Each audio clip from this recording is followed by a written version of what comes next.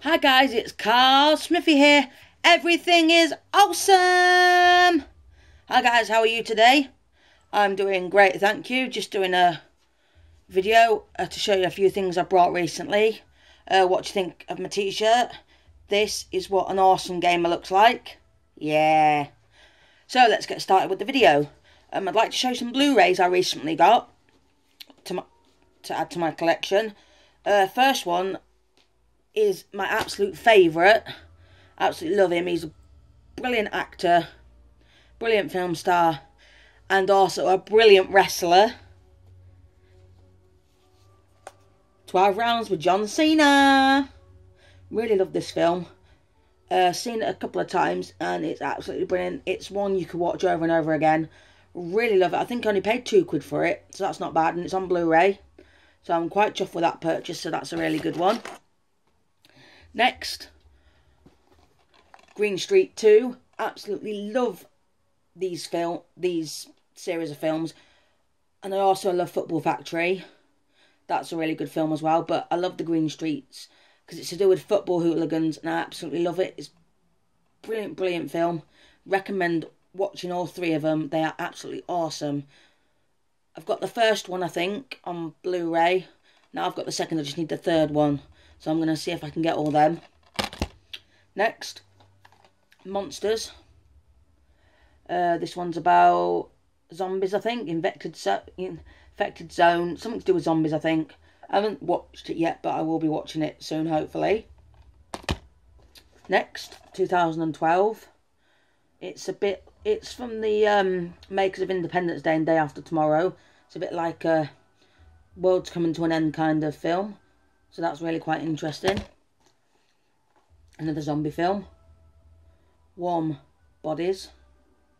Now, as you can see, the guy on the front, he was in the first series of um, Skins. And that's a really good TV show as well, TV series.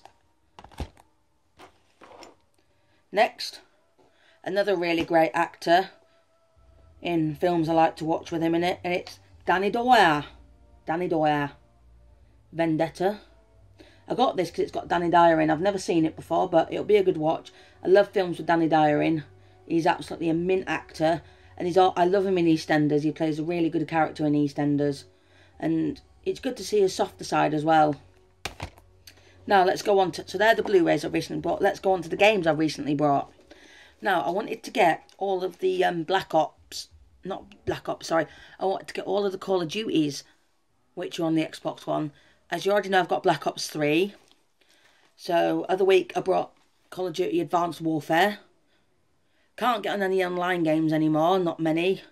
But it doesn't matter, I've brought it for a collection and I can play the single player campaign, should I say.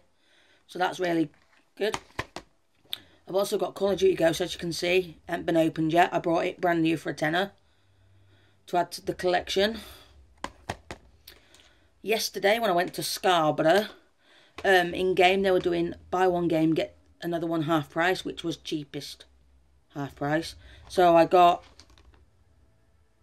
Zombi, because I love my zombie games. And I also got WWE 2K15. And guess who's on the front? John Cena! The champ is here! And also, of the week, I got a new game that's not long been out. Quantum Break. I'm really, really enjoying it. I didn't realise until I got it that it was from the makers of Alan Wake. And I loved that game on the 360. That was a really, really good game. So this game is really good. I'm re really enjoying it so far. It's a really good game. I'll be having a bash on it a bit later tonight because um, I want to see how long it takes me to complete it. And I'll keep you posted on that.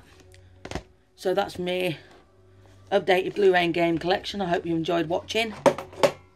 Oops. Sorry about that. No, I hope you've all enjoyed watching. And I'll see you later.